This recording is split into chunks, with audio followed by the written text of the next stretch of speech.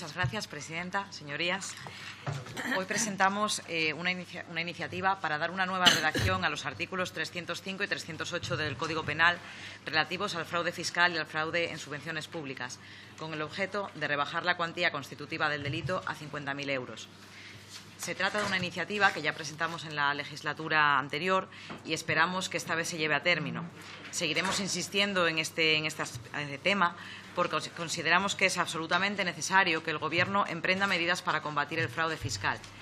Es necesario porque precisamente ahora, una época del año en la cual hablamos de presupuestos y suenan las palabras como techo de gasto o recortes, parece que el Gobierno del Partido Popular querrá continuar por la senda de, la austeridad, por esa senda que, que tiene como objetivo disminuir el gasto público y que ha causado tanto daño a la ciudadanía de nuestro país, llevándonos a estar en la cabeza de la desigualdad de la Unión Europea.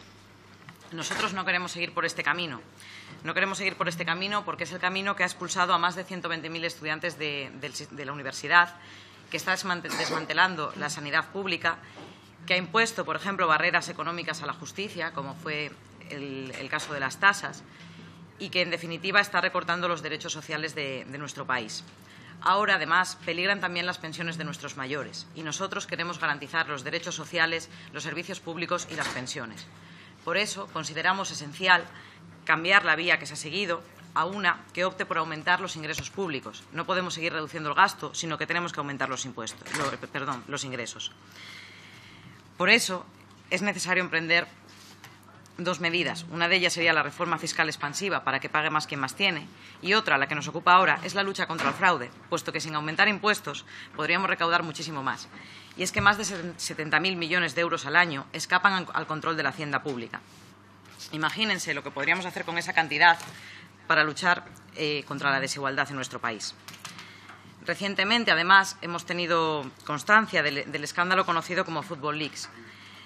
Hemos sabido que muchos futbolistas, que son además considerados ídolos por los niños y por los mayores en nuestro país, eh, continuamente cometen fraude, eh, cometen fraude fiscal.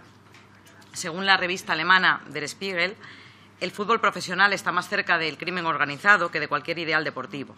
Y los clubes españoles están promoviendo el fraude. Se trata de clubes, además, que deben enormes cantidades a Hacienda y que reciben dinero público para construir estadios. Además, em, en lo que se demuestra que no tienen ninguna vergüenza a, promover el fraude fiscal, sin avergonzar, no tienen ninguna vergüenza, perdón, decía, a promover el fraude fiscal, el Barça, en concreto, lanzó una campaña por redes sociales cuando Messi fue condenado en lo que fue un enaltecimiento del fraude, una campaña que decía yo soy Messi para solidarizarse con una persona condenada por fraude fiscal. Y es que hacen todo esto porque se sienten impunes. Se sienten impunes porque al fin y al cabo es una conducta poco perseguida, porque no existe una regulación correcta. Hace unos días también la infanta decía en el caso Nos que no hizo algo distinto a lo que hacen todos y visto lo que se supo con el escándalo de los papeles de Panamá, seguramente todos sus conocidos hacen esto. Incluso la persona que protagonizaba el anuncio de, la, de Hacienda, que nos decía a todos que teníamos que, que, hacer la declaración de la renta, que Hacienda somos todos, eludía impuestos a través del despacho Mossack Fonseca. Pero no es cierto que todos hagan esto en este país, puesto que, para empezar, no todos tienen la capacidad de desviar cientos de miles de euros a paraísos fiscales a través de sociedades opacas es una, es una conducta que, hace, que, realizan aquellos que más tienen y por eso merece una mayor reprobación. El fraude constituye además una de las grandes preocupaciones de la sociedad y aproximadamente un 65% de, de los españoles consultados por el CIS consideran que el Estado no hace lo suficiente en la lucha contra el fraude. Y es que efectivamente estamos a la cola los recursos destinados a combatir el fraude fiscal y además están siendo mal destinados, puesto que persiguen al fontanero que, por ejemplo, no paga 50 euros de IVA, pero no a las rentas altas que acumulan el 72% del fraude fiscal. Lejos de tomar medidas contra, ello, el ministro Montoro aprobó en la pasada, en la, hace dos legislaturas una amnistía para amparar la conducta delictiva de aquellos que se definen como patriotas pero tienen su dinero en Suiza. Por eso consideramos que en este país necesitamos un plan integral contra el fraude, un plan que excedería, por supuesto, el contenido de esta comisión, puesto que más allá de cambiar el Código Penal habría que aumentar los recursos o crear una agencia internacional. Pero consideramos que este es un primer paso.